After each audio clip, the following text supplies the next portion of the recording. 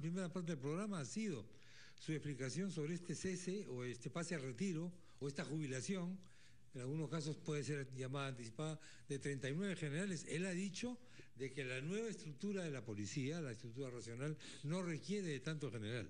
La pregunta que viene a continuación es la de los coroneles. Si hay inflación de generales, porque esto me hace recordar un poco lo que dijo el ministro Luna sobre las relaciones exteriores. ¿ah? Canciller. El, el, canciller, lo que dijo en el Congreso. En los últimos, en el último año, año y medio, hay una inflación de embajadores. Y yo no sé qué diría el ministro de Defensa sobre la posible inflación de generales del ejército, no lo sabemos todavía. ¿Cómo viene la mano con los, coroneles? Repito lo que dije eh, eh, ayer.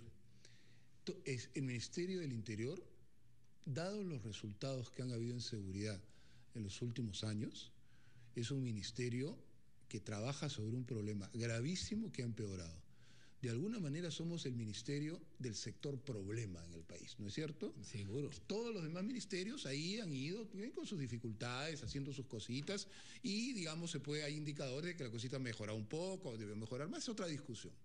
Acá los indicadores han ido así, para abajo, se han caído. En ese sentido es un ministerio diferente, totalmente diferente. A ver, pongámoslo en buen castellano. En los últimos años se ha fracasado totalmente en mejorar el problema que teníamos y ha continuado empeorando y siendo cada vez más grave. Ergo, ergo, ese ministerio viene jalado, todas sus instituciones vienen jaladas. No entro en responsabilidades individuales, pero es así, ¿no es cierto? es así, ya. Entonces, quienes asumimos, todos, desde el ministro, director general, generales, coroneles, comandantes mayores, oficiales, hasta el último muchacho que sale de la escuela, estamos todos en evaluación. La ciudadanía nos está evaluando. Quiere saber si vamos a cambiar. Quiere saber si vamos a tratar de hacer las cosas mejor. E insisto en lo que he dicho, todos estamos en evaluación, todos. Cada quien tenemos que demostrar que estamos en una nueva actitud, en un nuevo proceso. Hay un tema, sí. Todos tenemos asegurada la estabilidad donde estemos como estemos. No, yo no la tengo. Y no quiero tenerla, además. No quiero tenerla, no me interesa tenerla, quiero ser evaluado permanentemente. Todos los, de todos los ministerios hay que esperar cosas, pero algunas pueden esperar. Porque claro, disminuir la anemia infantil es un tema que va a demorar, etc. Pero al que se le exige más resultados es a interior. Y, por buenas razones. Porque el tema esencial de la ciudadanía es la famosa percepción. Estamos en esta entelequia de la discusión entre las realidades y las percepciones da la impresión de que Interior va a tener que hacer algo sensacional o sensacionalista, según No, no, no, yo no voy a hacer cosas sensacionalistas, porque, a ver, eh, Chema, hubo un ministro, no voy a mencionarlo por su nombre, que entró en junio, por decir algo, y dijo, en septiembre la delincuencia, porque yo estoy, va a haber bajado en 40%. Y en diciembre, porque yo estoy, ya no va a haber delincuencia en el Perú. Yo no les puedo mentir al país. Es irresponsable. Además, primero, esto es un trabajo de toda la policía, del ministro, de todos. Si esto va bien, bien, es responsabilidad de todos, no mía. Si va mal, yo asumo la responsabilidad. Así de simple. No, no agarro en segundo lugar. ¿Qué cosa se puede esperar? Nosotros hemos planteado el más ambicioso plan de 100 días de todos los ministerios. A nosotros nos dijeron reduce a 5, 10. No, primer ministro. La ciudadanía nos demanda más a nosotros, pero es muchos. No. Nosotros tenemos un reto mucho mayor que el reto de los ministerios y tenemos que trabajar a toda velocidad. Tenemos un plan de 100 días público. Sí, claro. Público, con 29 medidas en un conjunto de campos, que ya estamos empezando a implementar y que creo que lo que van a dejar al final de los 100 días es una institución policial un poco más moderna y eficiente, una sensación de seguridad en el un poquito mejor, en el sentido que ya no estamos solamente asustados nosotros de los delincuentes, sino los delincuentes están empezando a asustarse un poco de nosotros y eso estamos trabajando. repartir el susto un poco más equitativamente. Ah, un poquito más equitativamente, por favor. No puede ser que los delincuentes estaban felices.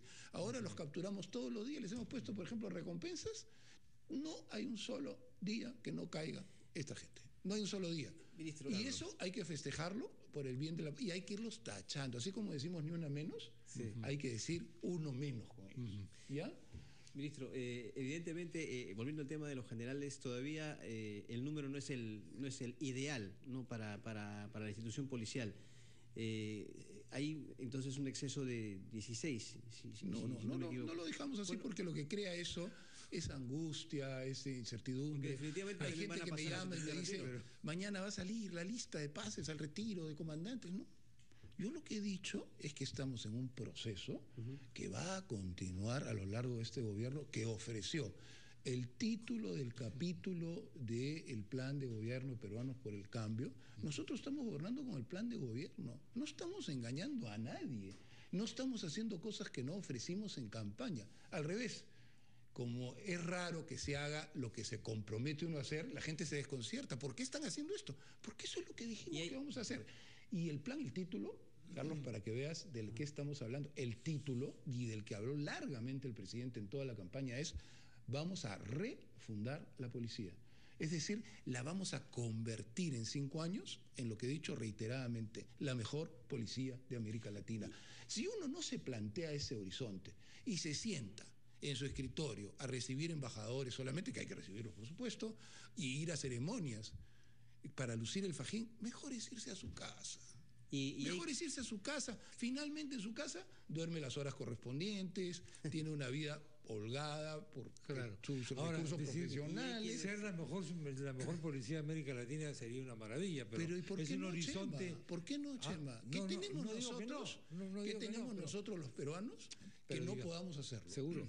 Yo a veces he escuchado, un, general de la policía, cuyo nombre no voy a revelar aquí, me hizo una vez una pregunta.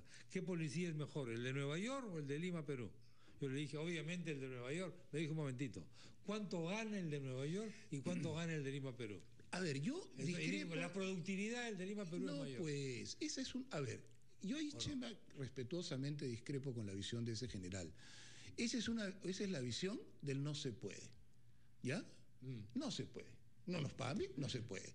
Eh, no tenemos los equipos de la policía de Nueva York, no Con ese criterio, con ese criterio, nunca, nunca mejoraríamos la educación, porque no los sueldos de los maestros son más bajos. Con ese criterio, la salud tendría que ser cada vez peor porque los médicos de Nueva York ganan más. Tenemos que cambiar de actitud. Y Chema, y te digo una cosa, ¿sabes cuánto gana hoy? Sí, ahora un cadete que sale a los 22 años, ¿ah? Sí.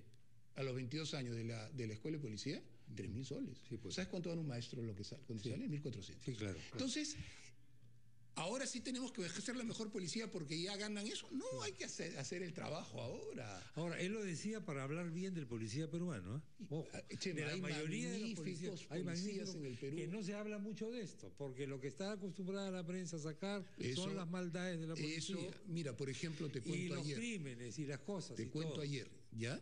Eh, Primero que hay magníficos oficiales y suboficiales en la policía que trabajan duramente y se rompen el lomo. Ahí les cuento, por ejemplo. Ayer ha habido un enorme operativo que hemos presentado en Mala y Asia que ha desbaratado las dos principales bandas que em, desde construcción civil extorsionaban en la zona y se mataban. Ha habido como 15 muertos en este año en esa zona nada más. Bueno, se ha desbaratado esa banda.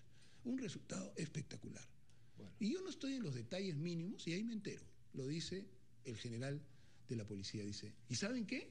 Dos miembros de la policía eran parte de esa banda.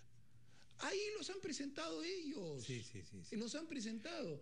Es la propia policía la que lucha contra el mal dentro de la policía, no soy yo. Bueno. Y eso es el espíritu que hay que es. Buena policía, apoyando a los buenos policías, trabajando por la ciudadanía y si hay malos efectivos, es la propia policía quien los combate porque quiere a su institución. Tenemos que llegar hasta acá. Muchas gracias. ministro, por haber estado en nuestro programa. Se acaba ya esta edición de ampliación de noticias y eh, enfoque de los sábados se va a desarrollar desde Mistura. Usted va a estar ahí enterándose de todas las novedades culinarias, gastronómicas y algo más que saldrá como siempre en este programa. Gracias por su sintonía. Muy buenos días, hasta luego.